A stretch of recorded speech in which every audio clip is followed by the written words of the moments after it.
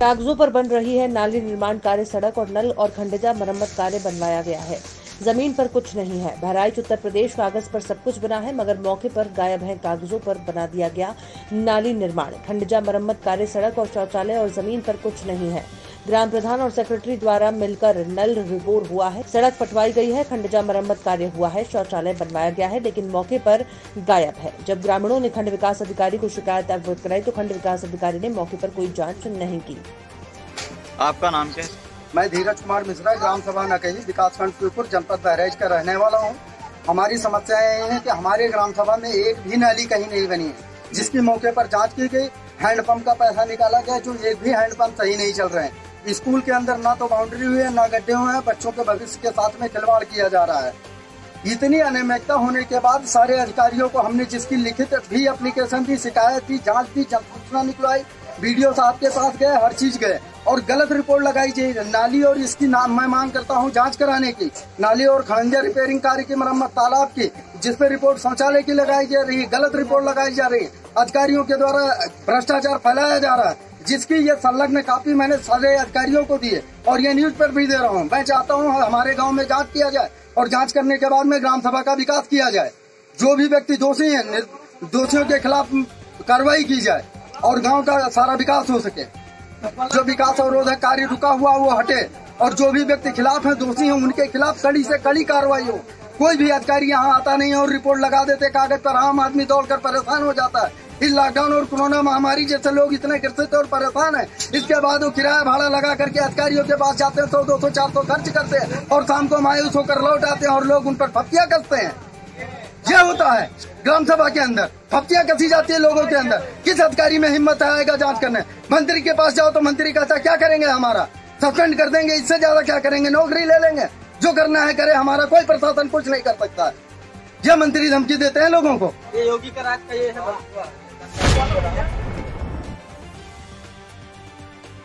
जनपद में कच्ची अवैध शराब का कारोबार बड़ी पैमाने पर फल फूल रहा है। अवैध शराब के सेवन से लोगों की मौत की घटना भी ज़िले के कई क्षेत्रों में पहले हो चुकी है, जिसको देखते हुए मंडलायुक्त मुरादाबाद और पुलिस महानिरीक्षक मुरादाबाद के दिशा निर्देश पर बिजनौर पुलिस अधीक्षक डॉक्टर धर्मवीर सिंह के दिशा निर्देश पर थाने की पुलिस ने देर रात बड़ापुर क्षेत्र में कच्ची अवैध शराब का कारोबार करने वालों के यहाँ छापेमारी कर दबिश दी। थाना बड़ापुर पुलिस वहाँ के क्षेत्राधिकारी, पुलिस पीएससी बल के साथ चंपतपुर चकला और मधपुरा गाँव में आज रेड किया गया। रेड के दौरान कई भट्टियाँ पकड़ी गई, तोड़ी गई।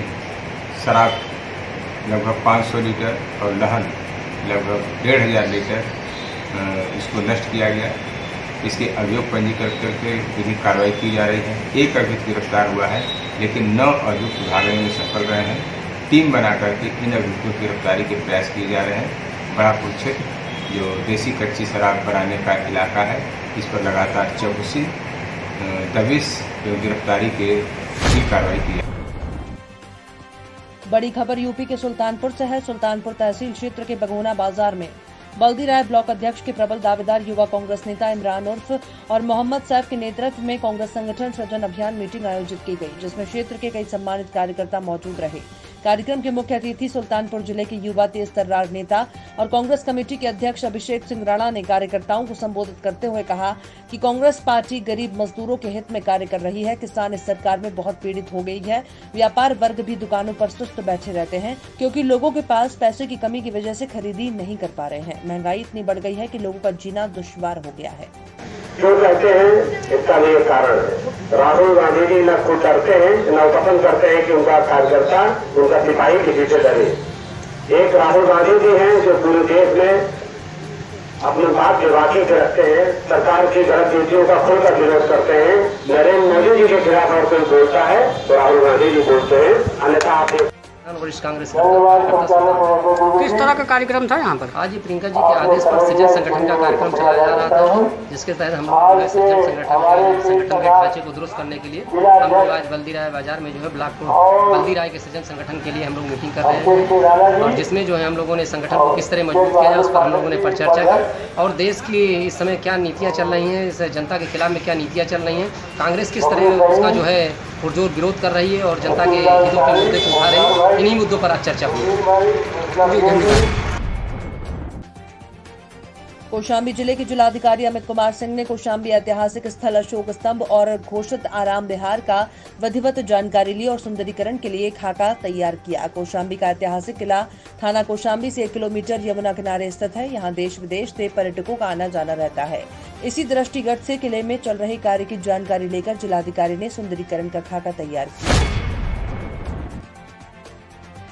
हाई टेंशन तार ने ली युवक की जान कौशाम्बी पश्चिम शरीरा थाना क्षेत्र के बनी खास मोहनपुर चंपाहा बाज़ार में छत पर चढ़े युवक को बिजली का करंट लगने से उसकी मौके पर ही मौत हो गई। विद्युत करंट से मौत के बाद सड़क जाम पर ग्रामीणों ने विरोध जताया। पश्चिम शरीरा पुलिस के साथ एसडीएम राजेश चंद्रा भी मौके पर पहुँचे और ग्रामीणों को समझा बुझाकर जाम समाप्त करवाया। पुलिस ने लाश को पोस्टमार्टम के लिए भेज दिया है। मृतक युवक का नाम लालजी सरोज, उम्र तैतीस वर्ष, पुत्र बच्चा लाल निवासी मोहनपुर चंपाहा बताया जा रहा है। मैं राजेंद्र कुमार जायसवाल, पूर्व प्रधान चंपाहा बाज़ार ग्राम सभा बोली। मेरे ग्राम सभा में आए दिन घटनाएँ रोज, रोज़ाना होती हैं, जो कि विद्युत विभाग की लापरवाही की वजह से आए दिन यहाँ तारे आज 25 साल की हो गई। कई बार हम लोग ने जा करके धरना प्रदर्शन भी किए, पचासों बार शिकायतें किए, लेकिन कोई हमारी सुनने वाला नहीं है। और आज की डेट में जो घटना हुई है, ये केवल विद्युत विभाग की लापरवाही की वजह से हुई है कि सब घर के सामने से तारे खुली हुई टहल रही हैं। तो ये घटना कैसे हुई है? घटना ये कपड़ा निकालने गया छत पे और जैसे ही इसने शर्ट खींचने की कोशिश की इसका हाथ पता नहीं तार, तार में टच हो गया और ये जो है तत्काल उसी के लपेट में आ गया और इसके बाद ये ऊपर अकेले था। जैसे ही तार फड़ाक से नहीं फिर से नहीं झूली तब घर के लोग दौड़ करके उसके पास गए तो देखे कि वहाँ मृत पड़ा है। तो ये क्या ग्यारह हज़ार दी की ये ग्यारह हज़ार नहीं सर ये चार सौ चालीस वोल्ट का करंट दौड़ रहा है। तो आपने इससे प्रशासन की शिकायत की थी पहले? प्रशासन से शिकायत हमने पचासों बार सर्ची किया लिखित किए मुजबानी भी किए आए दिन यहाँ हम लोग शिकायत करते हैं। तो जो मृतक है उनका नाम क्या है? उसका नाम है उसके पिताजी का नाम है बच्चा लाल सरोज और लड़के का नाम है लाल लाल जी सरोज। इसकी व्यवस्था की बात बता दें कि डेढ़ घंटे पहले हम लोग फ़ोन किए और ये 20 मिनट पहले अभी आई है एंबुलेंस। आप लोग क्या चाहते हैं? हम लोग चाहते हैं कि हमारा निस्तारण हो चंपाहा बाज़ार का पूरा और उसको उचित मुआवजा मिले। और उसके बाद तीन बच्चियाँ हैं कि उचित कार्रवाई करके उसको प्रशासन के द्वारा शासन के द्वारा जो है उचित लाभ उसको दिलाया जाए। तभी हम लोग इसको हटाएँगे और एशियन और एसडीओ जेई मौके पर आकर के हमारी देखें समस्या कि उसे बार बार बताते बताते हम लोग लग गए। और आए दिन हम लोग धरना देते हैं मंझनपुर में लेकिन कभी नहीं सुने जाते। उन्नाव यूपी से कोतवाली गंगा घाट क्षेत्र में गंगा नहाने चार युवक आए एक की डूबने से मौत हो गई। कानपुर से अपने तीन अन्य दोस्तों के साथ आए थे। मौके पर मौजूद गोताखोरों ने डूब रहे तीन लोगों को बचाया। परिजनों का रो रो कर बुरा हाल है। मौके पर पुलिस मौजूद रही। डूबने वाले युवक का नाम अंकित है।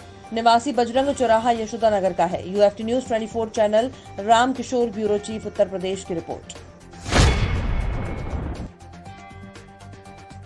कोशाम्बी भरवारी कस्बे में चायल विधायक संजय गुप्ता जी का छज्जा को तोड़ते समय दो मंजिलों से मजदूर बजरंगी राजपूत पुत्र नेमपाल सिंह छोटी मौलिक गिरकर गंभीर रूप से घायल हो गए, जिनसे मिलने के लिए कांग्रेस जिलाध्यक्ष अरुण विद्यार्थी के नेतृत्व में एक प्रतिनिधि मंडल जिला अस्पताल पहुँचा। मंडल पर वेद प्रकाश पांडे, धर्मेंद्र मौर्य, मोहम्मद नुरानी आदि मौजूद रहे।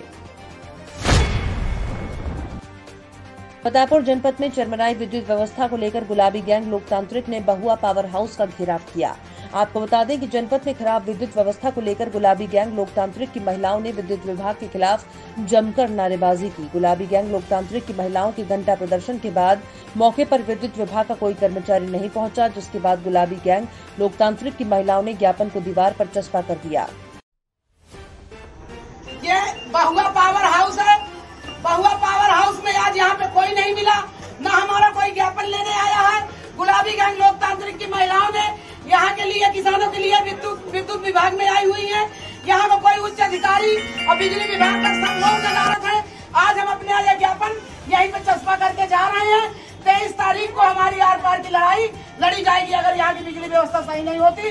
बिजली विभाग होश में आ जाए यहाँ के कर्मचारी होश में आ जाए यहाँ का जेई होश में आ जाए तो उन, उनके लिए बहुत अच्छी बात रहेगी। जनपद श्रावस्ती में अपराध थमने का नाम नहीं ले रहे हैं। जनपद में अपराधी बेलगाम होकर भोले भाले मासूम जनपद वासियों को अपना शिकार बना रहे हैं। जनपद में हो रहे अपराध की अगर बात की जाए तो हफ़्ते भर में ही हत्या जैसे गंभीर वारदात भी जनपद में आम है। ज़िले में न महिला सुरक्षित है, न पुरुष। अपराधी बेखौफ होकर अपराध को अंजाम दे रहे हैं। वहीं जनपद की पुलिस हाथ पर हाथ धरे घटना हो जाने का इंतज़ार करती रहती है। अपराध के क्रम में तो अपराधियों ने आज मानवता की सारी हदें पार करते हुए तीन साल की बच्ची के साथ रेप की घटना को अंजाम दे डाला। खाने पान है साहब। और तो हमारे बिटिया कहीं हम छगड़ी चरावत रहन। तब छगड़ी चरावत रहन तब गायब हो गए। पता नहीं कि वो उठा लेगा उठा लेगा। तब साहब हम घेरे लागे ढूंढे लागे तो कहीं मेरे घर में ना आई हुई। तो हम घर में गए देखा मानी का तो हमारी बिटिया बेहोश पड़ी रहे उठा लेके आए। तो देखा वहाँ खून लाग रहा है। उठाए लेके आए घरे। किसके घर पे थी? यहीं के घरे गए। किसके? क्या नाम रहीस के। रे वो आपके लड़की को ले गए थे? हाँ। थाने पे आपने एप्लीकेशन दिया है? हाँ। पुलिस ने क्या कहा? कहा बैठो। ग्राम कटहा की निवासिनी श्रीमती खातून ने थाने पर आकर यह सूचना दी है कि वो बकरी चराने के लिए घर से बाहर गई हुई थी। उसी दौरान उसकी तीन वर्ष की बच्ची बाहर खेल रही थी। पड़ोस में रहने वाला एक पच्चीस, बीस, पच्चीस साल का युवक है, जो रईस उसका नाम है। उसने उस बच्चे के साथ अश्लील हरकत और छेड़छाड़ किया जैसे ही थाने पर सूचना प्राप्त हुई, तत्काल घटनास्थल का निरीक्षण करके इस संबंध में अभियोग पंजीकृत कर लिया गया है और अभियुक्त को गिरफ़्तार कर लिया गया है। यूपी के कोशाम्बी में सरायगल थाना क्षेत्र के दिया उपरहार गाँव में एक युवक की बदमाशों ने धारदार हथियार से नृशंस हत्या कर दी। उसके चेहरे और सिर पर गंभीर चोट के निशान हैं और इतना ही नहीं उसके प्राइवेट पार्ट को भी बदमाशों ने काट डाला। पहचान छुपाने के लिए चेहरे पर तेजाब डाला गया। युवक की नृशंस हत्या कर बदमाशों ने शव को झाड़ियों में फेंक दिया। घटना की सूचना के बाद पुलिस ने शव को कब्जे में लेकर पोस्टमार्टम के लिए भेज दिया है। क्या है पूरा मामला बताइए? टोपी रख के गया कहा है कि गाड़ी धोआ दो। हम कहा चल धोआ दे फ़ोन किया। फिर उसके बाद मोबाइल स्विच ऑफ़ पाँच मिनट के बाद फिर गए रौजा तक फिर नहीं पता लगा फिर दो लौंडे मिले। रफी के लड़का वो कहें कि ताहिर कहाँ है? ताहिर कहाँ कहा नहीं है। और सफदर भाई के बेटा हाँ वो नहीं जाए। तो रियाज के बेटा कही कि कहाँ है?